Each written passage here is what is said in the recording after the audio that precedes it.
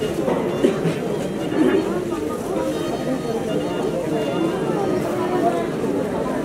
हामी सबैजना लाइनमा बसेर यो अलिक तपाईँहरू पनि पर बसेर हामी सबैजनाले घुम्ने ठाउँ राखेर यो कार्यक्रम बाध्यता परेपछि खान सकेन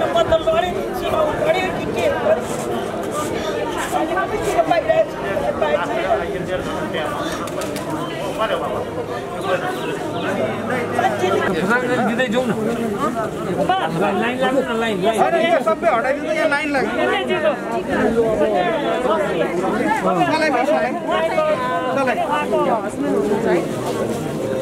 उहाँ अहिले श्रद्धाञ्जली दिने चाहिँ जेनी कुवर दिदीको हस्बेन्ड हुनुहुन्छ भेला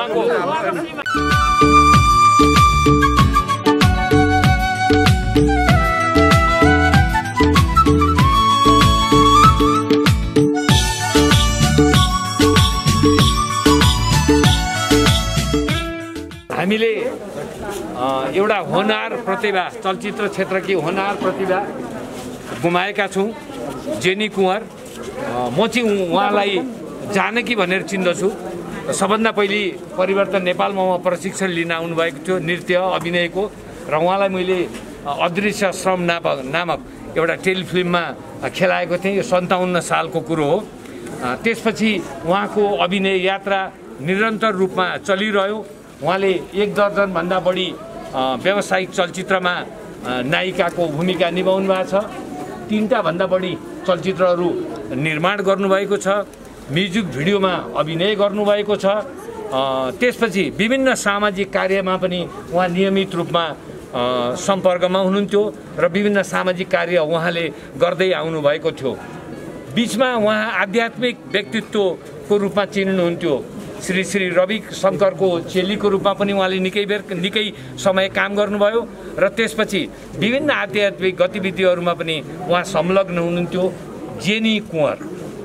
उहाँ शालीन व्यक्तित्व हुनुहुन्थ्यो कसैलाई चित्त नदुखाउने र कसैको पिर मार्कामा पर्यो भने त्यसलाई मलब लगाउने खालको व्यक्तित्व हुनुहुन्थ्यो। उहाँ जस्तो होनहार व्यक्तिलाई हामीले अहिले गुमाउनु परेको छ। चलचित्र क्षेत्र मर्माइत छ र उहाँको प्रतिभाको मैले जतिसुकै व्याख्या गरे पनि व्याख्या गर्ने ठाउँ शब्द हामीसँग छैन। मलाई लाग्छ चलचित्र क्षेत्रका वरिष्ठदेखि दिग्गजदेखि कनिष्ठसम्मका व्यक्तित्वहरूले उहाँसँग काम गर्नुभएको छ र उहाँले सबैसँग सत्सङ्ग पनि गर्नुभएको छ। उहाँ पछिल्लो समय यो सनराइज एपार्टमेन्ट होइन? सनराइज थापा गाउँको सनराइज एपार्ट एपार्टमेन्टमा बस्नुहुन्थ्यो र हामीले चिन्दाखेरि चाहिँ पहिले बानेश्वरमा उहाँको उहाँ घरमा बस्नुहुन्थ्यो उहाँ। र उहाँले आध्यात्मिक जीवन पछिल्लो समयको आध्यात्मिक जीवन बिताउँदाखेरि उहाँले धेरै ठाउँमा धार्मिक यात्रा पनि गर्नुभएको छ। सबैले उहाँलाई कतिपय यो पहिले पोहोर साल पनि न्युजमा देखिया छ मानसिक सन्तुलन गुमाएको भनेर। वास्तवमा उहाँ आध्यात्मिक चिन्तनबाट हिँड्नुभएको थियो। उहाँले उहाँमा त्यस्तो कुनै किसिमको स्वास्थ्यमा र उहाँको मानसिक स्थितिमा त्यस्तो कुनै किसिमको असर भएको हामीले देखेको छैन। हामीले पोहोर साल उहाँलाई यहाँ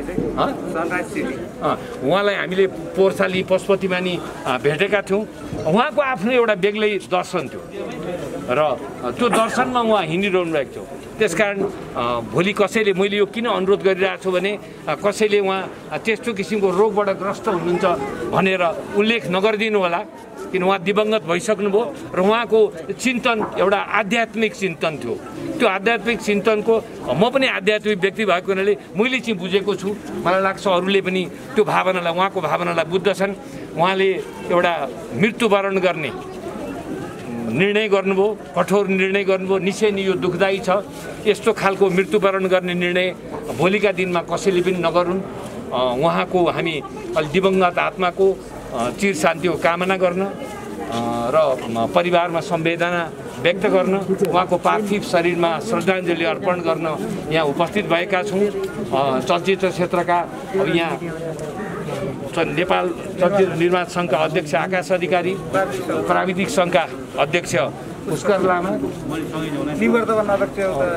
अनि निर्देशक सभाका निवर्तमान अध्यक्ष सुचित्रा श्रेष्ठ अनि निर्देशक समाजको कोषाध्यक्ष समुद्र भट्ट पनि हुनुहुन्छ यहाँ।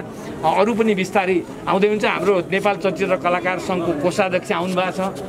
कार्यकारिणी सदस्यहरू रामेश्वर बुर्लाकटी गोपाल ढकाल छन्दे बिहानदेखि नै रायस मानन्दर बिहानदेखि नै सक्रिय रूपमा खटिरहनु भएको छ।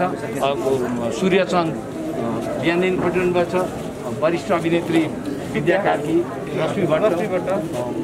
बिहानदेखि हजुर। रामेश्वर केसी राम- रामेश्वर के केसी पनि हुनुहुन्छ। अनि हाम्रो युट्युबमा भाइरल व्यक्तित्व भित्र हुनुहुन्छ उहाँ। पुण्य गौतम पनि पुण्य गौतम पनि यहाँ आउनुभएको छ। र अब मैले माताजीहरू पनि आउनुभएको छ। मैले कसैको नारायण त्रिपाठी हुनुहुन्छ मैले कसैको नाम लिन छुट्याएँ भने क्षमा चाहन्छु। ए, महादेव त्रिपाठी। अब यो श्रद्धाञ्जलीको कार्यक्रम सुरु गर्न चाहन्छु। हामी कलाकार सङ्घको पहिले झन्डा ओडाएर सम्मान अब नेपाल चलचित्र कलाकार सङ्घको उहाँ सदस्य हुनुहुन्थ्यो। र नेपाल चलचित्र कलाकार सङ्घको यो झन्डा ओडाएर उहाँलाई उहाँलाई हामी सम्मान व्यक्त गर्न चाहन्छौँ। यता पनि।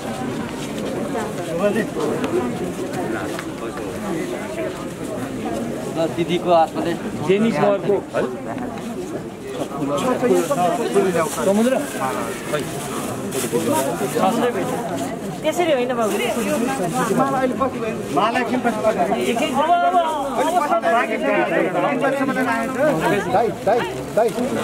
हजुर पर्नु अनि आकाशीबाट सुरु गरौँ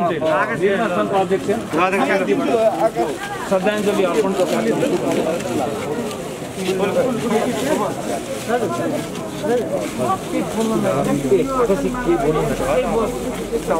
जेनी कुँवरलाई जसरी अहिले मोहन सरले भन्नुभयो सबै कुरा उहाँले उहाँको व्यक्तिगत जीवनको बारेमा उहाँलाई जसरी चिन्नुहुन्थ्यो त्यो बारेमा भन्नुभयो। मैले चाहिँ नेपाल चलचित्र निर्माता सङ्घमा म उपाध्यक्ष महासचिव हुँदाखेरि दुई कार्यकालसम्म सदस्यको रूपमा उहाँले काम गर्नुभएको थियो। र यति भन्दै कि चलचित्र क्षेत्रले जेनी कुँवरलाई एउटा चलचित्र निर्मात्री त्यसको साथसाथै एउटा राम्रो अभिनय कलाकारको रूपले चिन्छ र चलचित्र क्षेत्रले कहिले पनि उहाँलाई बिर्सिने छैन। यति भन्दै उहाँको चाहिँ अ, म चाहिँ नि, अ, के अरे जीवनको चाहिँ नि जुन अब अन्त्येष्टिमा हुनुहुन्छ त्यसमा चाहिँ हार्दिक श्रद्धाञ्जली आफ्नो तर्फबाट नेपाल चलचित्र निर्मातातर्फ संघको तर्फबाट भन्न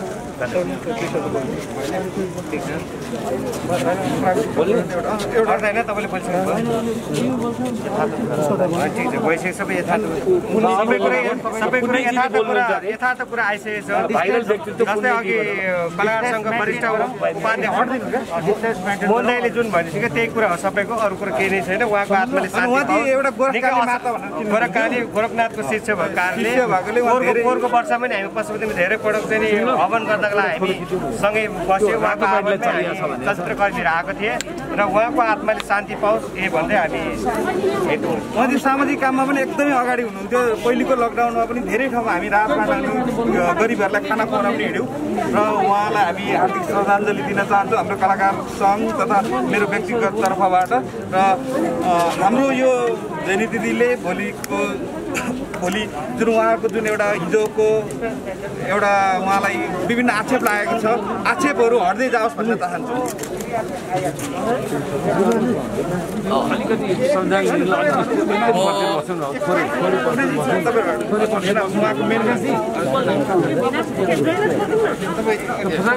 जाउँ लाइन यहाँ सबै लाइन लाग्छ मलाई पनि चलाइ। चलाइ। उहाँ अहिले श्रद्धाञ्जली दिने चाहिँ जेनी कुँवर दिदीको हस्बेन्ड हुनुहुन्छ उहाँको उहाँको श्रीमान। पनि हामीसँग हुन्छ कमल कुँवर। उहाँलाई उहाँलाई चाहिँ हामी संवेदना। हाम्रो चलचित्र क्षेत्रको तर्फबाट भावपूर्ण संवेदना हार्दिक संवेदना व्यक्त गर्दछौँ। तपाईँ सक्यो नि। तपाईँ सक्यो भने यहाँबाट हटाइदिनु है?